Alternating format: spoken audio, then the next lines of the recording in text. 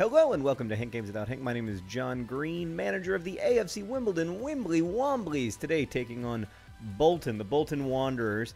Uh, they're wandering about uh, the city of Bolton, but they've stopped by. Oh, they have a ginger goalie. This is going to be a very difficult task indeed. It's hard to beat a ginger goalie.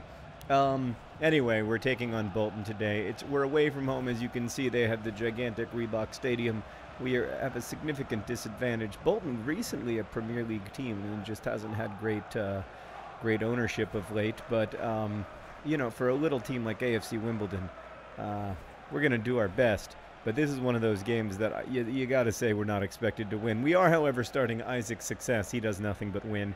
And uh, Adebayo Akinfenwa. And then in goal, of course, we have Shea LaBeouf. Uh, so you'll never guess who stopped by the uh, uh, South London a couple days ago. Uh, it was Bald John Green. He was there. With, he brought little JJ over at the end of practice. Um, for those of you who don't closely follow the Wimbly Womblys, we used to have a star uh, strike partnership duo, Bald John Green and other John Green. Um, and they loved each other and they loved AFC Wimbledon and everything was magical. What a great series of passes! Oh, you can't. That ginger goalkeeper. He's trouble. I believe that was the Golden Child too, Meredith. I would have gotten to sing a hymn. Um, uh, yeah. So uh, anyway, Bald John Green stopped by, which was so nice. It was re- it was great to see him. Instead now of instead of having this amazing uh, strike duo, we have uh, no Bald John Green because he left uh, for Germany, although he is now playing in England. More on that in a moment. And um, and other John Green is now eh, mostly playing a midfield role where it must be said he is uh, ineffective. Uh, he's an aged lad. Uh, I think that's part of the issue. He's now 33 years old. I think part of the issue is that uh, coming out of the TARDIS in this particular incarnation, his FIFA 16 incarnation, Bald John Green was a little tall and orange headed and uh, Ronald McDonaldy, and he's never quite had the balance by the way, I, I hate playing half in the shadows. It's terrible, just like in real life. Why is FIFA now so good that it's unfun in all the ways that actual soccer is unfun? Anyway, oh, oh, Akinfenwa, he's a finisher. Oh, that ginger goalkeeper. Dang balls. Um, right, what were we talking about? Right, so Bald John Green stopped by uh, with JJ, which John Green and John Green's son.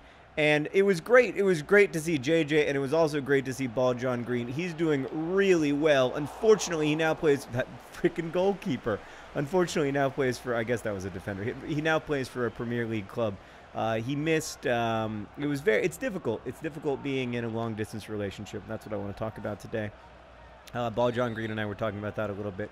It is very hard to be in a long distance relationship, especially a long distance marriage um, especially when there are children involved. And I told, I was talking about how I've actually done this before, not, to, uh, you know, obviously not to the degree that um, the John Greens were doing it, but I, I have, oh, oh, God, that was a terrible shot by other John Green.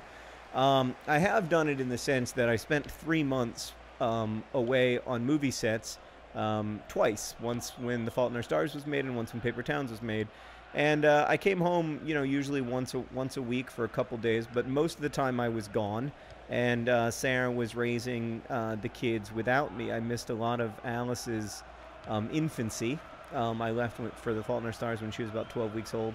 And then I missed another like three month period when she was uh, like one and a half, and Henry was uh, about about four and a half, or just just just around before he turned five.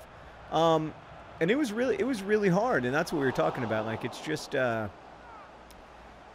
it is possible um, you know and you, you do what you have to do for your career one of the things that you don't really think about when you're getting married is the fact that you're you're really going to like share a life together uh, which means not just like in all the romantic sweet ways it also means you're going to be like kind of co-CEOs of a family unit and that you're going to be co-CEOs of like a family business. The Golden Child. So, whoop, nope, nope, nope. Premature excitement. The Golden Child is celebrating. However, he did not score the goal. The goal, that's a nice assist, it must be said, from other John Green, using his head wisely. And then it's a nice, relaxed finish from the wild shot. I wouldn't even say that was a wild shot. I would say that that was a relaxed, chill shot. I believe that was wild shot, though. Oh, man. Wild thing. Bum, bum, bum, bum. You make my heart sing. That's what they sing. I'm not very, I can't really sing that song. That's when they sing when he scores. Um, so you, you you know like when you have to do these things to make a make make your family life work, you do it. Uh, but it is really hard. And so what happened with Bald John Green, another John Green, is that Bald John Green spent this one season in Germany where he was very successful in the Bundesliga. He had more than 20 goals uh, in his first season. Um, uh, but then he took a huge pay cut because he just felt like he couldn't do it anymore, and uh, and ended up um, back in uh, England, where he is now playing uh, for a club in London that shall shall remain nameless because I cannot bring myself to say its name. Uh, and I, I, mean, look, like, uh, you know, the point I was making to him was like, I can't believe you play for such a crap club with no history, and like, you go from AFC Wimbledon to playing for like the, you know, the franchisiest club in England, not currently playing in Milton Keynes, and uh, but Bald John Green was like, look, you know, this is, uh, you know, this is this is heart for you, you know, this is this is something that you love, and for me, you know, it's a business and that's true. I never thought of it that way, really. But you know, for for him, it's his professional life, and you do what you have to do uh, to take care of your family, to have the best professional life that you can.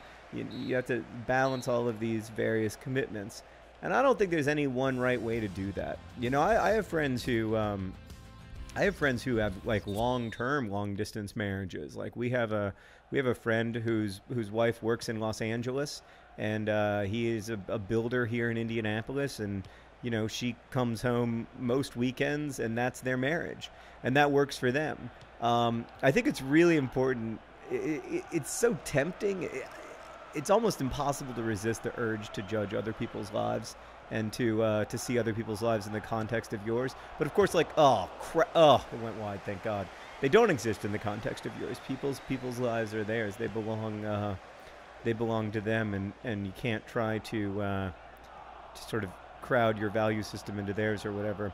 But it is a big part of the reason, in the same way that you know, Bald John Green made the call to uh, kind of take a uh, take a pay cut. Oh, off the post. Um, take a pay cut to go to uh, back to come back to England so he could live in London with other John Green and JJ.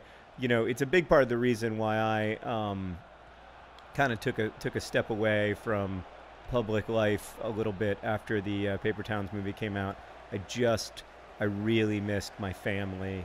And one of the things I learned, I think, in that whole process is that uh, the thing that um, uh, those those movies and those experiences and like having this like weird minute in the center of uh, uh of pop culture where I couldn't even make a Wimbly Womblys video without worrying about the things that I, I, I said maybe ending up in like a, a, a newspaper or a magazine. Um, th- th- those were really good times in my life, and I'm really glad that I had them because if I hadn't had them, for one thing, I would spend the rest of my life like wondering what that stuff feels like. Um, but it was not a experience that I needed to like repeat over and over again in order to live like a like a happy life um, in the end, in the end, like I wanted to come home to Indianapolis um, and have have my my life here with my family because that's where like that's where I derive meaning and fulfillment, and also um, a le- a little bit of uh, I mean, I. I, there are all these things that 16 year old me would absolutely hate about current me and sometimes I feel like embarrassed to even say them out loud.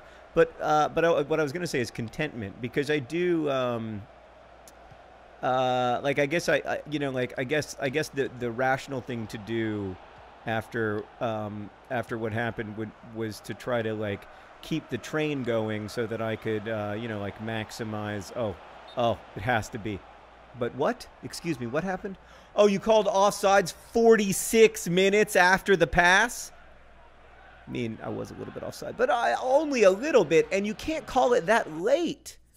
Meredith, you've got to remind me to make the substitutions. You only have one job as assistant manager. I mean, aside from actually making the videos. Um, we got to bring in Jago Jago. Uh, we're gonna bring out Wild Shot, and and we're gonna bring on uh, Bali. I mean, how great is it that his name is Bali, and what he does for a living is kick a Bali? It's just amazing. Uh, they're making one substitution. like a bunch of cowards. We're making three substitutions all at once, just like the pros do it. Let's just let, take take your time. Walk off, wild shot. It was a beautiful goal. Who knew your first name was Yannick? It's fantastic. I couldn't even come up with a better first name for you if I wanted to. Frankenstein also had himself a great game marauding up the right wing as he likes to do. And of course, there's the uh, the handsome, the beautiful uh, Golden Child 2.0. Jago Jago coming on. Uh, selectively mute Jago Jago. Uh, he's an absolute delight to be around because I find that um, I almost prefer people who don't talk. It, it leaves a little more space for me, uh, the most important person in the room. Um, yeah, so I think uh, in the end, uh, Bald John Green and I made the same decision, which was that uh, you know uh, the the glories of a uh, of a public life and of maybe getting to win the Champions League and all that stuff. Uh, that wasn't as important as home.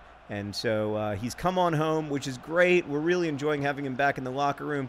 Uh, I asked him if he wanted to come play for the Wimbly Womblys. I said we could sure use him up front. Um, we're really struggling with goals. We almost gave up a goal there.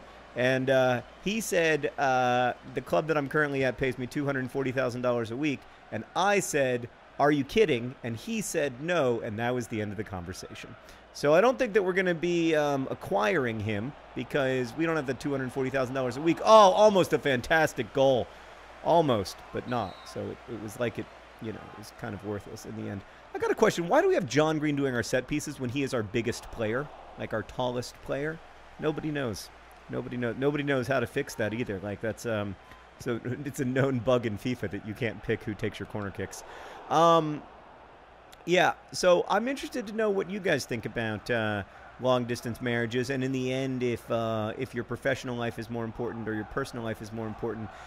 Of course, it's not as simple as making like like a narrow calculus like that. Like there's tons and tons of factors that go into these things, and uh, like every decision in a human life is extremely complicated. But um, but I do think uh, I do think you know I do think that we have to everybody in their life has to make choices like that. Um, you know, I only live in Indianapolis because I was a trailing spouse because we made a professional decision uh, on on Sarah's behalf as a family. So for Sarah to get a, a job here, so. Uh, life is weird. It takes you to strange places. Sometimes you score against ginger goalkeepers and win 1 0 away at Bolton. Congratulations to the Wimbly Womblys. Thank you for watching and uh, best wishes.